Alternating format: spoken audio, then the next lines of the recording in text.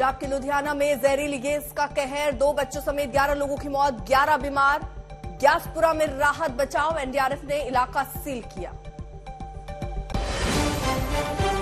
चारधाम यात्रा पर मौसम की मार, बद्रीनाथ में पहाड़ दरकने से रास्ता बंद, हज़ारों यात्री फंसे, केदारनाथ में 15 दिन से भारी बर्फबारी। कर्नाटक के कोलार रैली में खरगे के सांप वाले बयान पर फिर प्रधानमंत्री का प्रहार। कहा, वो सांप से तुलना करते हैं, पर सांप तो भगवान शंकर का गहना है।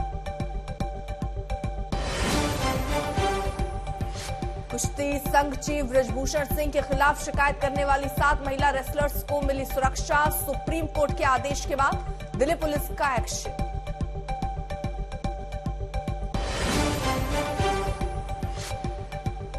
और फ़िल्म द केरला स्टोरी की लेकर विवाद पर सीएम पी विजयन का पहला बयान, कहा फ़िल्म का मकसद सद्भाव, बिगाड़ना, नफरत फैलाना, संघ को चुनावी फ़ायदा दिलाना।